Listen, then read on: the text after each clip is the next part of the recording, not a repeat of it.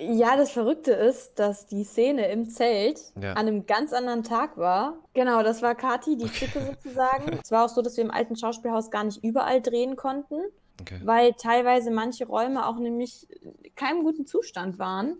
Komm, Muss ja auch ein kleiner Schockmoment sein, wenn man so sozusagen nach Hause kommt und da stehen irgendwie mal zehn Feuerwehrautos davor.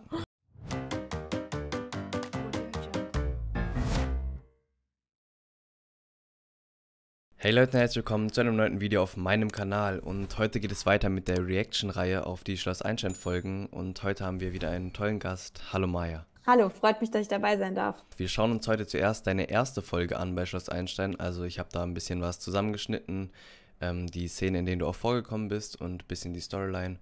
Und ja, schauen wir einfach mal, was uns erwartet. Ich freue mich. Wann hast du das das letzte Mal geguckt, wenn ich fragen darf? Boah, ist ein bisschen länger her. Ich glaube wahrscheinlich so zum Studiumsbeginn, weil dann irgendwie ein paar Kommilitonen gefragt haben, so hier können wir mal eine Folge zusammen gucken, aber das ist auch schon irgendwie wieder zwei Jahre her. Alles klar, dann gucken wir mal rein.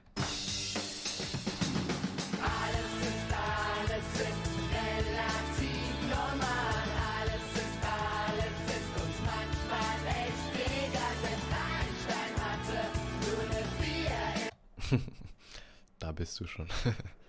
Lustig. Habt ihr das ähm, extern, also äh, extra dafür aufgenommen? Ja, ne, das war nicht aus irgendeiner Folge.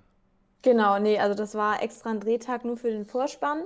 Okay. Ähm, war ein sehr schöner Drehtag, weil wir dann halt wirklich alle zusammen sind. Das ist ja wirklich selten, dass wirklich Ja. ähm, alle Darsteller zusammen am Set sind, außer beim Vorspanndreh. Okay, und da habt ihr dann auch mehrere Sachen versucht oder war relativ klar, was du machst, also dass du da diese Szene machst? Nee, das war eigentlich recht klar vorgeschrieben, was es da gibt. Also beziehungsweise die Szenen wurden auch einzeln dann gedreht und das äh, Schlussbild dann meistens am Ende dann alle zusammen. Und das gab es aber auch ein klares Drehbuch für. Okay. 96% der Leute, die meine Videos schauen, haben den Kanal noch nicht abonniert. Also, ihr würdet mich und meine Arbeit riesig unterstützen, wenn ihr einfach ganz schnell unten auf Abonnieren drückt. Das ist kostenlos und dauert zwei Sekunden. Dankeschön.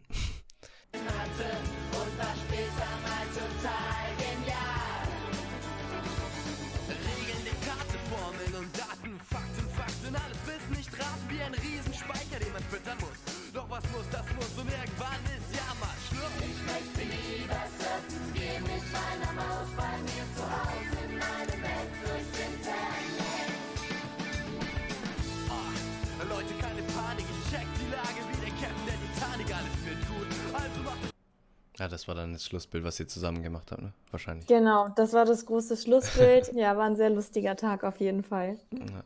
Aber es ist auch deutlich, also wir haben uns ja auch alte Folgen oder ältere Folgen noch angeguckt, ist auch, man sieht deutlich, dass es deutlich moderner ist. Hm, ja. keine Sorgen, denn wir sind die Kicks von morgen. hey, pass doch auf. Warte, ich helfe dir.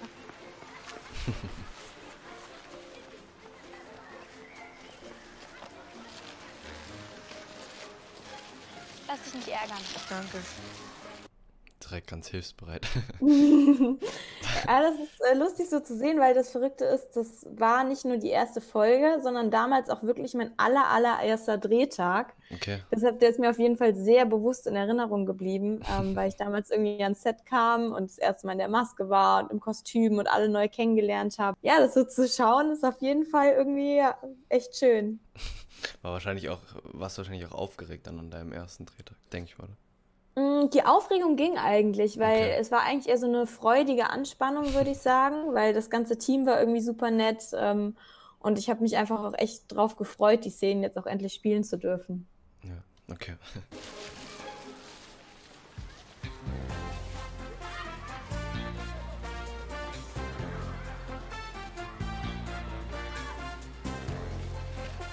Hi, Hi. du bist doch neu hier, oder? Mhm. Dann greif mal hier rein und zieh deinen Paten.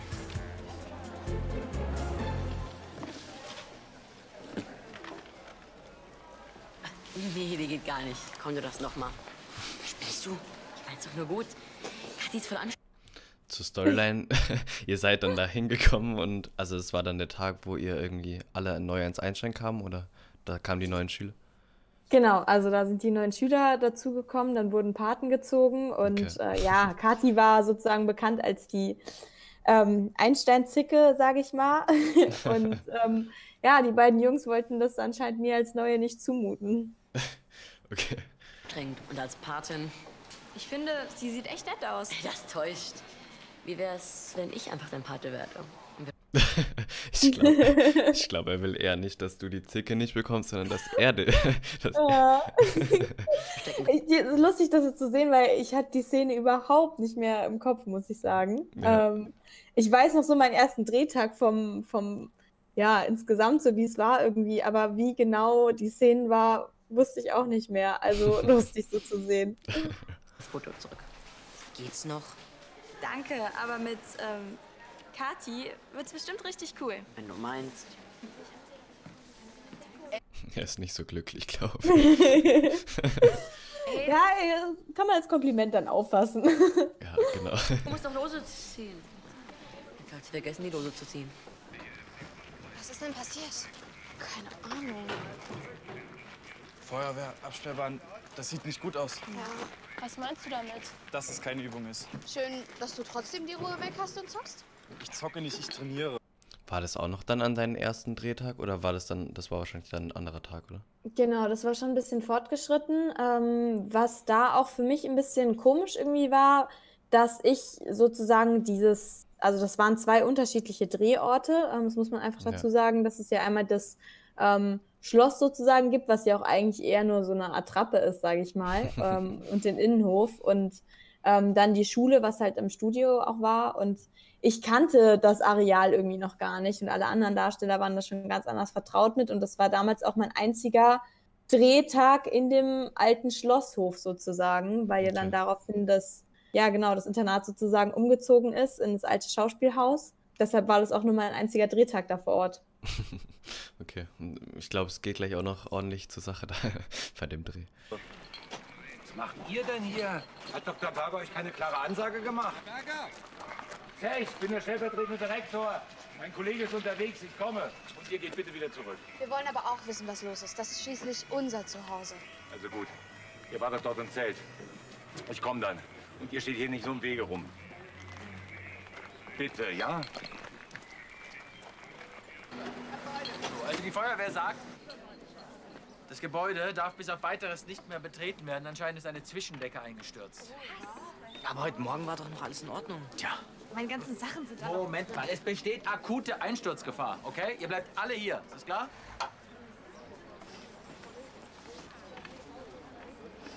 Wo ist eigentlich Frau Rottbach? Frau Rottbach ist um diese Zeit im, im Internat. Oh. Aber das war groß aufgebaut, oder? Also mit, mit den ganzen äh, Feuerwehrautos und so. Ja, das Verrückte ist, dass die Szene im Zelt Ja. an einem ganz anderen Tag war und auch in einer ganz anderen Umgebung. Also das Zelt war damals, glaube ich, aufgebaut. Ich weiß gar nicht mehr, wo war das? Ich glaube auf dem EGA-Gelände oder so. Das war auf jeden Fall nicht mal in der Nähe vom Internat ähm, und wurde auch an einem ganz anderen Tag gedreht. Okay. Also das war eine ganz andere Szene dann, die ihr dann nachgedreht habt wahrscheinlich. Genau, also ja, wie es dann sozusagen beim Dreh einfach läuft, dass man die einen Szenen aneinander geschnitten sieht, heißt überhaupt nicht, dass es ansatzweise am gleichen Tag gedreht wurde. Ja, lustig. Ich rufe sie mal an.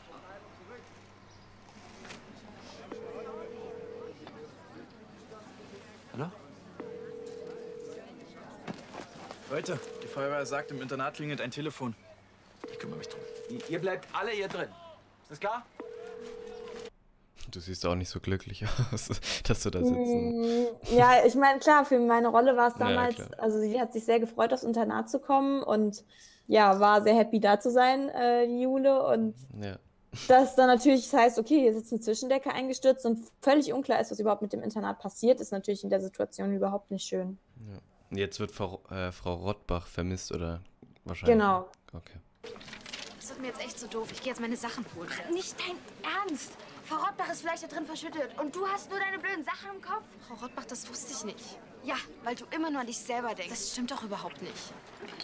War das die, die du gezogen hattest? Genau, das war Kati, die Zicke sozusagen. Und ja, genau, die beiden waren noch immer nicht gut aufeinander zu sprechen. Da gab es sehr viele Streits zwischen denen. Zuerst müssen die tragenden Bände echt. Nicht jetzt. Sehen Sie denn eine Chance, dass wir in naher Zukunft hier wie... Was gibt's denn? Frau Rottbach, sie ist doch im Internat. Jemand muss sie retten. Jetzt. Die Feuerwehr kümmert sich bereits darum. Macht dir bitte keine Sorgen. Ja? Kennen Sie sich da drin überhaupt aus? Hank. Was denn? Ich wohne schließlich da und kann zeigen, wo Frau Rottbach sein könnte. Die Herrschaften von der Feuerwehr, die wissen ganz genau, was sie tun. Aber ich passe prima durch kleine Fenster. Weißt du, ob das ähm, echte Feuerwehrmänner waren oder waren das irgendwie. Also, woher hattet ihr auch die Feuerwehrautos und sowas? Boah, das weiß ich ehrlich gesagt gar nicht mehr. Also die Feuerwehrautos natürlich waren mit Sicherheit echt. Ja. Generell kenne ich das aber von anderen Drehs so, dass es oft so ist, dass es wirklich echte sind. Also ich hatte ja auch mal einen Dreh ähm, für einen Krimi und da ging es auch darum, dass dann die Polizei kam und Krankenwagen, weil eine Leiche gefunden wurde und so. Und das waren auch wirklich alles echte Sanitäter dann. Okay. Also es ist schon oft so, dass es dann auch einfach übernommen wird. okay. Wahrscheinlich auch, weil es dann irgendwie authentischer ist, oder? Genau, klar. Wenn man schon die Autos äh, herschaffen muss, dann kann man auch gleich das Personal mitnehmen sozusagen. Können sie gleich mitkommen. Ich meine Gänge, wo andere vielleicht stecken bleiben. Du gehst jetzt rüber ins Zelt zu den anderen und lässt die Profis ihre Arbeit machen. Verstanden? Und ihr geht auch hin.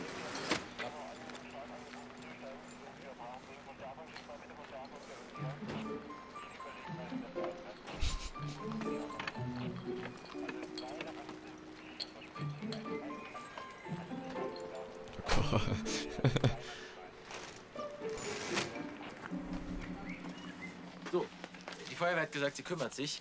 Ich besorge euch jetzt erstmal eine Notunterkunft und ihr bleibt alle hier drin, wie gesagt. Alle bleiben hier drin! Keine Spur von ihrer Frau Rottberg. Bach, Gott, Bach. Jedenfalls sieht's da drin ganz furchtbar aus. Da kann jederzeit was runterkommen.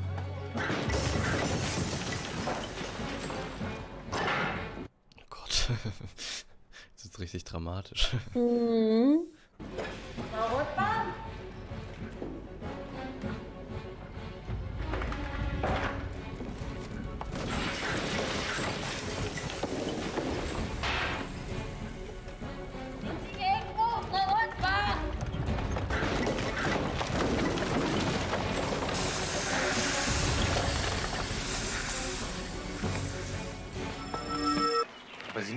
Drin sein. Können Sie nicht noch mal rein? Frau Rottbach, Frau Rottbach. Da ist sie ja beim Einkaufen gewesen. Ja. Und der andere ist jetzt, ähm, der Henk ist jetzt Noch alleine da drin, drin. Oh genau. Gott. Ich habe auch gerade überlegt, wo das gedreht wurde. Ich könnte mir vielleicht vorstellen, dass es vielleicht auch im alten Schauspielhaus an, in einer anderen Ecke war, weil es war auch so, dass wir im alten Schauspielhaus gar nicht überall drehen konnten, Okay. weil teilweise manche Räume auch nämlich in keinem guten Zustand waren. Deshalb frage ich mich gerade, ob sie es dann nicht vielleicht da die Szene gedreht haben. Aber ähm, könnte ich jetzt auch nicht genau sagen. Okay. Was ist denn hier los? Frau Rottbach. Oh. Wir haben ja wirklich gedacht, Sie wären... Frau Rottbach, lass mich mal drücken. Wir haben wirklich gedacht, Sie wären da jetzt... Also, ich muss. Ich sag Berger und den anderen Bescheid, dass sie nicht verschüttet sind. Verschüttet? Sie weiß gar nicht, was passiert. Mhm, komplett planlos. Ein bisschen überfordert, dass er sie gerade hochgehoben hat, glaube ich. Muss ja auch ein kleiner Schockmoment sein, wenn man so sozusagen nach Hause kommt und da stehen irgendwie mal zehn Feuerwehrautos davor. Ja, auf jeden Fall.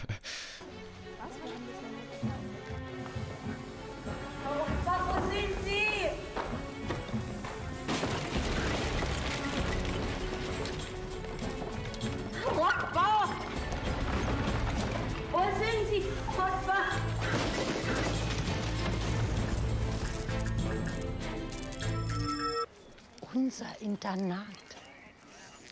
Aber das ist ja furchtbar. In der Tat. Aber noch furchtbarer ist, dass ich mir vorstellen, wo Henk steckt. Ich hätte den anbinden müssen. Ein Helm und eine Jacke fehlen. Danke. Oh oh. Oh Gott. Der ist jetzt da alleine reingegangen, ne? Und Ja, ein kleiner Schockmoment, glaube ich, für die Lehrer. kann ich mir vorstellen.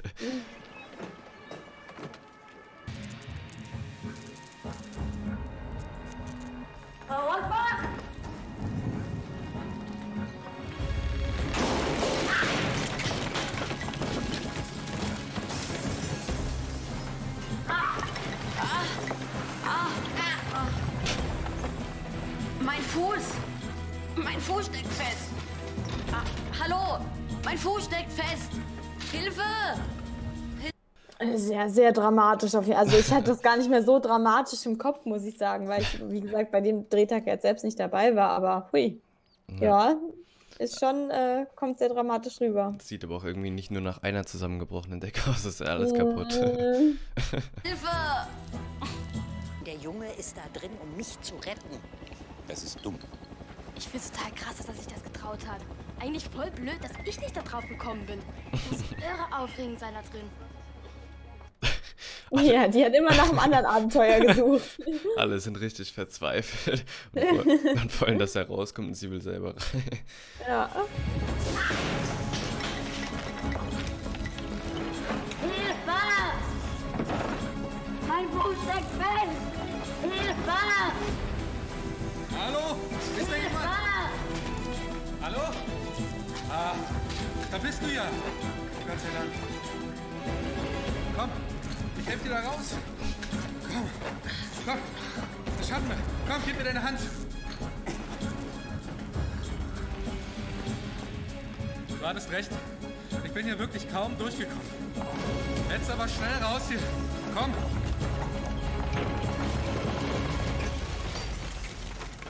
Gottes Willen. Sehr, echt krass gemacht. Aber echt. Ah, da haben Sie Ihren Ausreißer. Na, endlich! Sag mal, bist du wahnsinnig geworden? Immer wie ihr lacht. Ja, gutherzig. Der Junge ist ein Held. Frau Rottbach? Ja. Die sind gar nicht verschüttet. Ach, wie süß. Noch nichts weiter. Dieses war doch nichts weiter. Das hätte ganz anders ausgehen können. Da man Ja, jetzt ist er der gefeierte Held. Der Tag in meinem Leben. Ich war richtig cool da. Also, der war alle für meinen Held des Tages. Danke. Ja, und was ist dann passiert? Mhm. Überall hat gerumpft und beide sind runtergestürzt. Die waren so dicht, Mama, so dicht. Ich habe meine Ausgang gesucht, aber nicht gefunden. Ich habe Frau Rottbach gesucht, aber nicht gefunden. Ich habe mich hier rumgedreht. Der redet doch irgendwie lustig. Mhm. Nicht. Hat, es ist voll aufgegangen in seiner Rolle. Das ist äh, auch immer schön zu sehen, wenn man die Darsteller ja dann auch sozusagen privat kennt und unabgesehen davon. Aber ja, Ja. es ist schön zu sehen, wie er gut das spielt. Gab es irgendwen, mit dem du besonders viel irgendwie zu tun hattest, gerade in der Staffel? Mm, In der Staffel eigentlich weniger, weil meine Rolle da auch einfach noch nicht so viel zu tun hatte, sage ich mal. Ja. Ähm, in der zweiten Staffel hatte ich ja dann auch mehr Spielszenen und ähm, da hatte ich dann eigentlich am meisten zu tun mit äh, Holly, also mit der ähm, Darstellerin von Olivia, weil wir auch einfach die meisten Szenen zusammen gespielt haben, weil unsere beiden Rollen ja dann beste Freunde waren. Hast du in, dann dort gewohnt in Erfurt oder wie war das? Genau, also ich bin damals extra ähm, nach Erfurt gezogen, ähm, weil ich ursprünglich aus Frankfurt komme. Ja. Ich habe zu dem Zeitpunkt dann gerade mein Abitur noch abgeschlossen und bin dann nach Erfurt in eine WG gezogen für die Zeit des Drehs. Cool. Ich bin rumgerochen. Meine ganze Hose ist jetzt dreckig. Aber dafür war es trotzdem wert. Wenn Frau Rottbach drin gewesen wäre, hätte ich sie auf jeden Fall gerettet. Davon bin ich überzeugt. Äh, ich hole uns am besten mal was zu trinken. Okay. Hallo. Hey. Hi. Das ist echt ein kleines Wunder, dass keinem von uns etwas passiert ist. Unterricht rettet Leben, könnte Bergers neues Motto werden. Hallo, Frau Rottbach. Hallo. Und wie geht's jetzt weiter? Irgendwo müssen wir doch wohnen, oder? Also wenn wir alle ein bisschen zusammenrücken, könnten wir vielleicht noch ein paar Leute in der WG unterbringen. Denkst du auch das, was ich denke? WG, wir beide? Dann hätte der Einfluss ja was Gutes. Und vielleicht können wir auch mitbestimmen, wie das Internat nach der Renovierung aussehen soll. Ja, macht Vorschläge. Ja, genau. Neue Möbel, ganz stylisch in weiß oder Sonnengelb. Oh, Ja, dann äh, kam mir die Hoffnung anscheinend schnell wieder für ein neues Internat. Also direkt äh, Einrichtungsidee. Ähm. Hm, Also ich, man merkt halt einfach, es war auch so angelegt bei der Rolle, dass äh, genau meine Rolle, die Juli sich einfach sehr gefreut hat, da ins Internat zu kommen und ähm, ja, sie auch einfach schnell mitwirken wollte im ganzen Internatsleben. ja, also die Freude spürt man auf jeden Fall. Definitiv. Voll krass. Jeder sucht sich sein eigenes Lieblingsteil aus. Und ich bekomme Tischtennisblatt in mein Zimmer. Warum nicht gleich noch einen Kicker oder einen riesengroßen Fernseher? Unsere Sachen kommen! Ich habe eine schlechte Nachricht für euch. Ich komme gerade von der zweiten Besichtigung, bei der auch ein Sachverständiger anwesend war. Und leider sieht es dort schlimmer aus, als wir bisher befürchtet haben. Nicht nur die eingestürzte Zwischendecke ist vom Schwamm betroffen, sondern das ganze Gebäude. Und es ist bis auf Weiteres nicht mehr bewohnbar. Was? Das heißt, ihr könnt euch noch auf ein paar Tage Camping einstellen und dann brauchen wir was anderes. Also, setzt euch mal wieder hin. Wir sagen euch dann Bescheid, wie es weitergeht. Oh Gott. Aber so. Hm, das war ein ordentlicher Schockmoment. ja, ich glaube, bei der ganzen Folge muss man sich natürlich auch ein bisschen realistisch machen oder ja. sich bewusst sein, dass es immer noch eine Serie ist und dass natürlich nicht alles hundertprozentig realistisch ist. Aber ich finde insgesamt ist es eine sehr schön, ja, sehr schön äh, erzählte Geschichte. Absolut, auch richtig gut gemacht mit dem eben mit dem ähm, Hank im Haus drin. Genau, bringt natürlich nochmal ein bisschen mehr Spannung mit rein. Genau.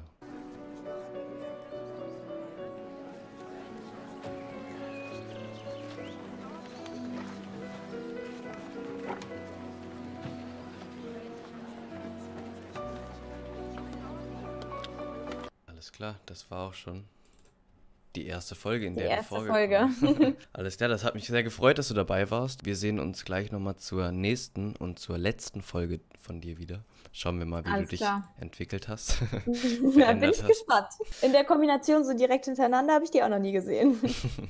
Alles klar, wenn es euch da draußen gefallen hat, lasst doch gerne dem Video eine positive Bewertung da, abonniert den Kanal und schaut unbedingt beim Instagram-Kanal von Maya vorbei. Alle mal abonnieren. Ähm, genau, und dann sehen wir uns beim nächsten Video wieder. Haut rein. Ciao.